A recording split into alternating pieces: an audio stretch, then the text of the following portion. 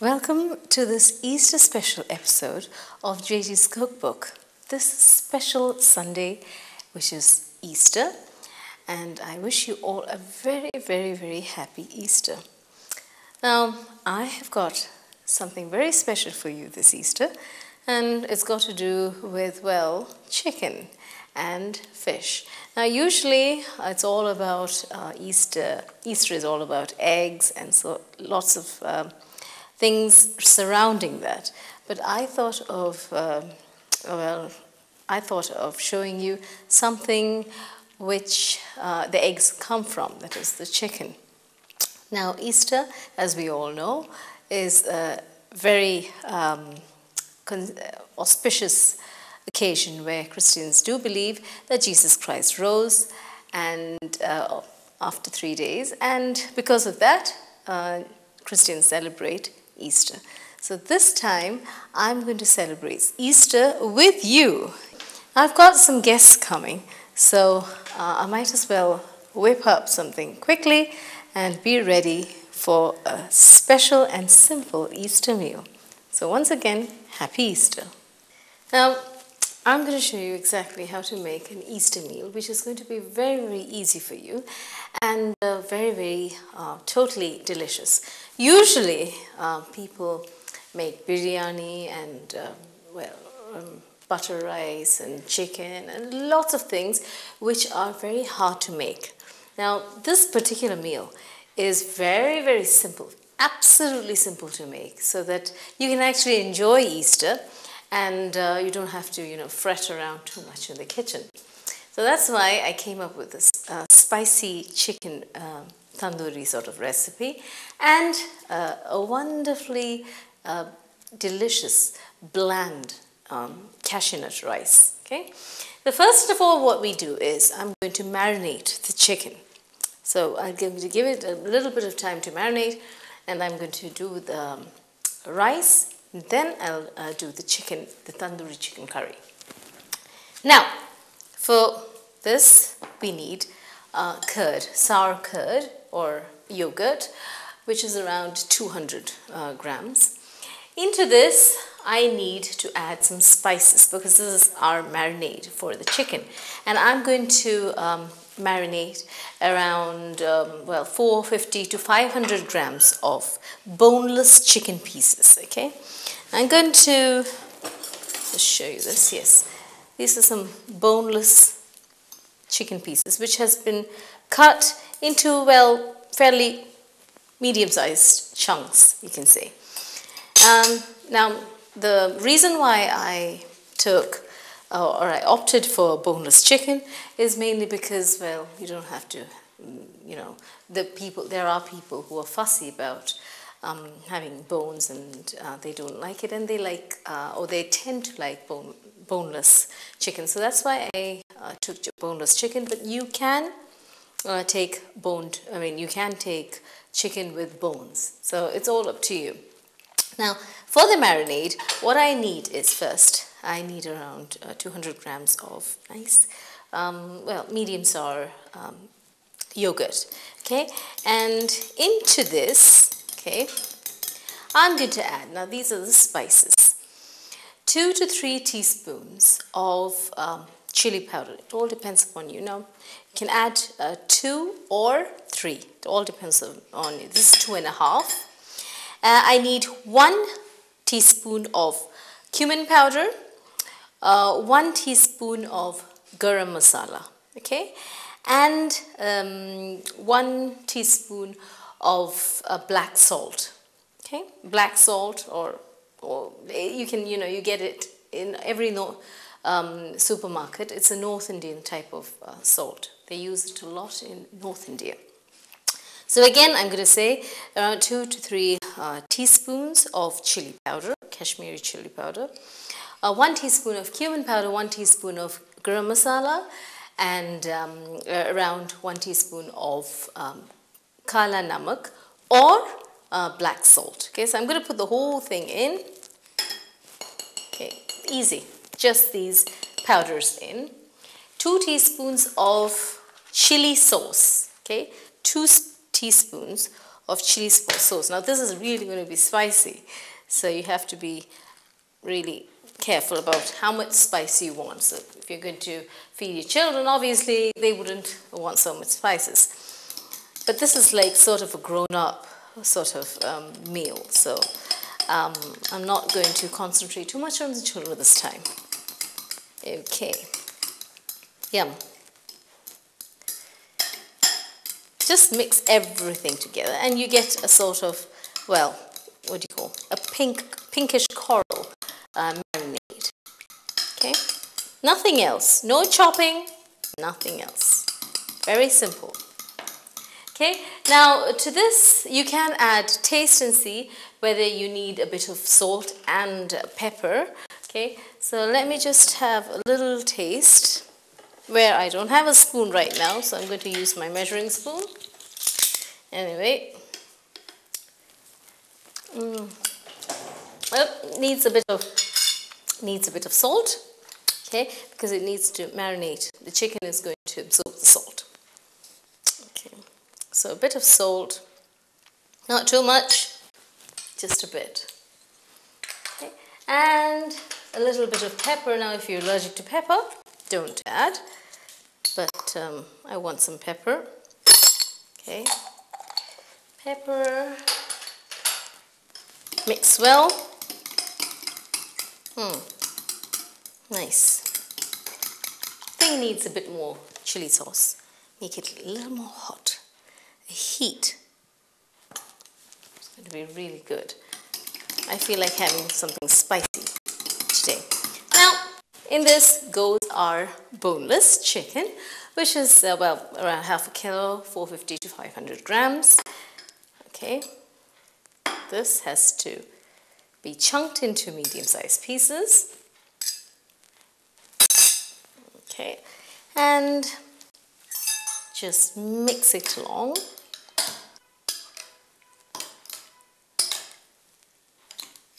There. So this is done. That is well, it's not done, uh, the marinade is done, and the chicken has to absorb all the wonderful flavors. Mm, lovely. This has to be kept aside. Let this marinate and do its job. Okay. Next, what we're going to do is, by the time uh, that marinates, you know, this has to be turned into a sort of a tandoori curry sort of thing. I'm going to start off with the rice. Now, the rice I have already prepared is, this is like two cups of rice which has been um, cooked in cashew milk, okay, cashew milk. Now what I did was I took 50 grams of cashew nuts, 50 grams of cashew nuts and I soaked it in water for around half an hour. Then I ground it up into paste with either you can use water or milk. I used uh, milk. You can use uh, anything, but I just want a nice uh, paste, a cashew paste, okay? Uh, once it's soaked, it's going to be very easy to uh, grind it up into a very smooth cashew paste. We have around 2 cups of basmati rice. For that, we need 1 cup of uh, coconut milk or milk, mix the uh, 50 grams of cashew nut paste in the one uh, cup of milk and the rest three cups of water. Okay, and uh, I have made some cashew nut rice out here. So now I'm going to uh, temper uh, the rice or I'm going to flavor the rice once more. Once more, I'm going to tell you the process of the cooked rice. Uh, that is the cashew nut rice. I took 50 grams of cashew nuts. I soaked it in a little bit of, well, you can soak it in water or a little bit of milk. After half an hour or around 45 minutes, grind it into a very, very smooth paste with a little bit of water or milk as you choose. Then what you do is add um, this 50 uh, grams of cashew nut paste with one cup of either coconut milk or uh, normal milk. Okay, mix it and you get uh, one cup of cashew coconut milk, cashew milk, and then uh, we add three cups of water with it. So altogether, for two cups of uh, basmati rice, uh, we have 4 cups of liquid. Okay, once that's uh, done, um, simmer first, bring it to a boil, simmer it, and then you get some lovely cashew nut rice, which is flavored. Obviously, you have to put your salt and seasonings uh, like uh, pepper. After that, once that's done, okay, then this done and cooled, the final process is to make it more prettier and more tastier is, well, add around three or four uh, spring onions, depends on how much we want, okay. Chop it, very, very, very light. Now the reason why I take spring onions because it's easy uh, to chop and it's much easier and it's, it's a very, very mild taste rather than the strong taste of um, the shallots or the big onion. And it's also very pretty and doesn't sting my eyes. Okay, now finally what we need is uh, to heat the pan for the rice. Now what I do is add, well now because it's a festive occasion, Easter, uh, I'm using a bit of um, clarified butter or ghee. You can use uh, butter or you can use sunflower oils uh, or anything. But then uh, I find because it's, well, a nice festive season, uh, why not add a little bit of clarified butter or ghee, just a bit. And now I've added just one or two, one tablespoon. You can add more if you want to. I'm just going to add a bit of oil, canola oil or sunflower oil together with this so that everything is moistened and nothing is too uh, fatty. Okay, add my spring onions. Mm. Look at those green discs, beautiful.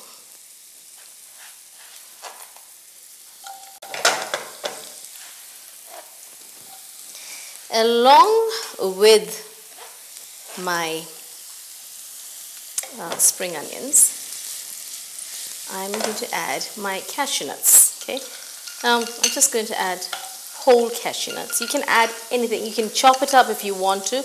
I'm lazy, so I'm not going to. Okay, and besides, well, something different really gives a big bite. Okay. Yes. And this has to saute for some time. Okay. And let this sizzle along. You can add a little bit of, um, well, green chilies. Let this sizzle just a bit and then we can add our rice. Now this is right toasted golden. Add, well, one chili if you want. If you don't want, don't. Okay. Green chilies. Once the green chili is added, don't wait too much. Just plunk in the rice. The cashew rice. Cooked cashew rice. Mm. Now I have added a bit of spices um, in this, like two anise seeds and a bit of cardamom. Okay, let's keep this aside. So you can see the anise seeds and you may see the cardamom. Just mix everything. Mm, lovely.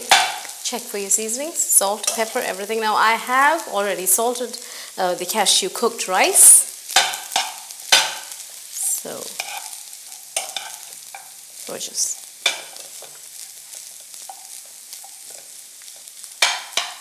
Now my cashew uh, rice is ready. Now I'm just going to keep this aside. Before I'm going to transfer it into a, a, serving plate and then garnish it. Just keep that aside. Now let's come back to our chicken which has been marinating for some time. And yes, it does need to marinate. All the beautiful flavors of the marinade is, you know, uh, permeated into the lovely chicken pieces. so this is done. Okay, oh, just look, just look at this color, this coral pink, beautiful color. Now, um, keep this aside. We need another pan to obviously cook the chicken. Um, now, before doing that, okay, uh, what we need to do is we need to fry the chicken pieces. Okay, now for that, we have to do a certain uh, technique, which is I'm going to retrieve only the chicken pieces into this bowl. Okay, chicken pieces into this bowl. Just the chicken pieces, not the marinade, because we need the marinade for the base of the tandoori curry. Okay, just the chicken.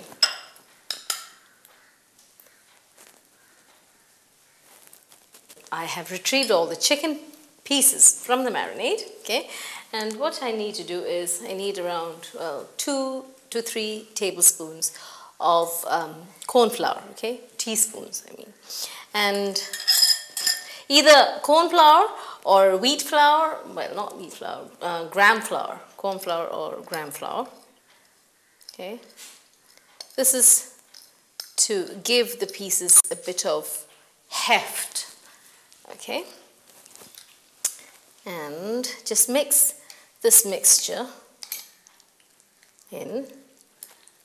And I'm going to fry these pieces, these chicken pieces. There you go. Mix everything, everything done. I have, I need a, a pan.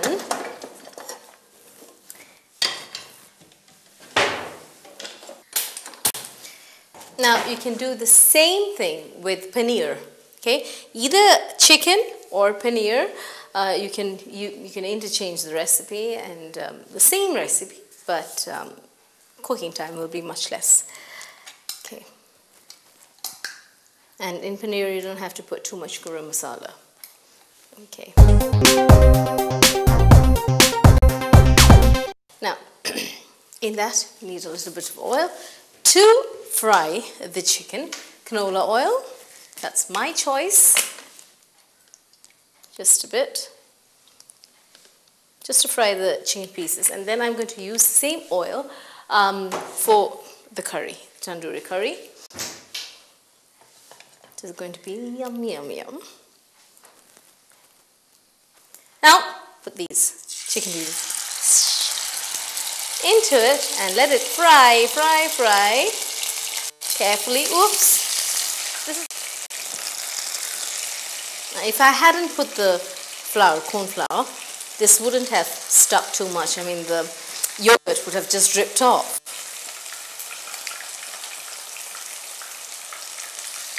and we'll wait till these darlings are cooked and golden brown. Tender and beautiful, moist. The, the, the yogurt actually gives it a very moist and tender thing. That's why uh, tandoori and tikka, uh, they all have uh, yogurt because yogurt always uh, moisturizes the meat. So it's a very good thing. I always love to marinate fish and chicken, everything with yogurt because it's got an acid medium, it's got milk, it's got lactic acid which uh, actually helps in the marination. I'm going to just turn these chicken pieces over. Oh, just look at it. So beautiful, bronzed and golden. Beautiful. The color is gorgeous. Colors really make me very happy. Golden, golden brown. It's not even brown, it's just bronze and golden. Now, just keep this aside. Okay, now we need to make our curry in the same oil that we fried our um, lovely chicken pieces, which are bronzed and ready out there. We've got our uh, leftover marinade. What we have to do is we have to um, chop up a bit of spring onions. Okay. And that's just beautiful. Spring onions, that crunchness. When you actually cut um, oops, cut the spring onions, it's really crunchy. Now,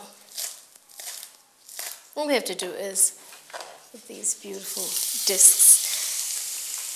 You just keep uh, a little bit of green part of the spring onions for embellishment. A little bit of ginger. Okay, now this ginger has been washed well, so I'm not going to bother, I'm not bother, I'm going to uh, just grate it and I'm not going to bother to peel it. Okay, because it's washed really well. Besides, again, get lots of fiber and antioxidants. Mm. Just, um, well, a teaspoon of ginger. That's it. Give click and then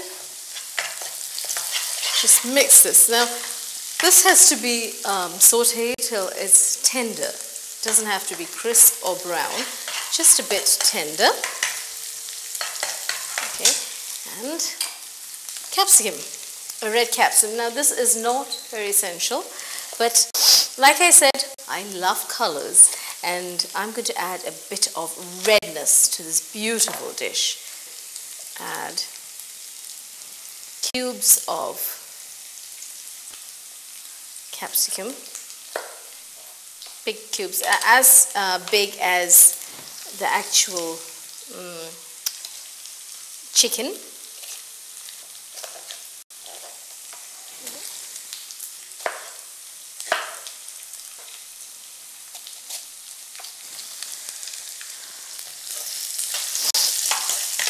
Just mix it along. Once this is mixed, pour in your reserved marinade.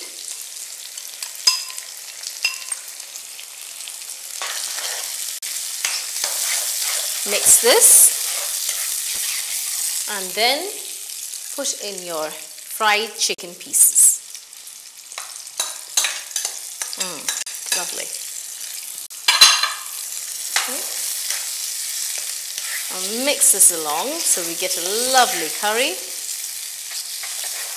tandoori curry, and let this simmer for some time, around uh, 10 to 15 minutes. Let it really simmer and cook well.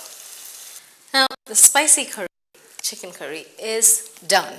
It has been simmering for around 20 minutes, 20 to 25 minutes. Um, you don't, you have to actually make sure that the chicken is cooked thoroughly. Now, half, it was halfway cooked through, or uh, three-fourth cooked through uh, when you actually fry the chicken pieces. Um, then we put it in the gravy, and the whole thing uh, is come into a wonderful chicken, spicy chicken tandoori curry.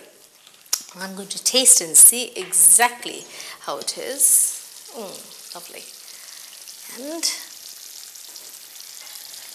mm, nice. Now what I'm going to do is transfer it. Before that, let me give, let me have a taste of it. This is hot. Don't want to bo boil my tongue. Okay. Mm. Mm, mm. It's good, good. Everything perfect. You can add a bit more of pepper if you want to, but this is enough. Okay, mm, now what we do is, I'm going to transfer this into a waiting plate. Mm. Lovely. Yum, yum.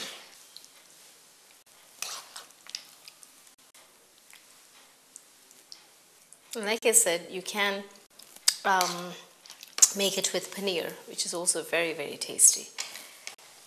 On top of this, we're going to embellish it with coriander leaves. Mm, lovely, lovely fresh chopped coriander leaves. And then our rice, which I have already assembled and kept out here. I've assembled it in this plate. And I'm just going to take it out. Yes.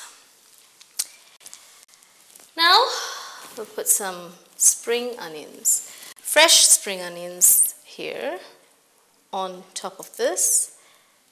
and on top of the rice. Okay, so that's done. My wonderful tandoori chicken curry and uh, cashew rice, both of which are a wonderful combination. And it's very simple. You don't have to do a lot of chopping or cooking or anything. It's just very, very simple, assembling everything together. And I know you'll try it. It's going to be wonderful. And I wish you all a wonderful and happy Easter.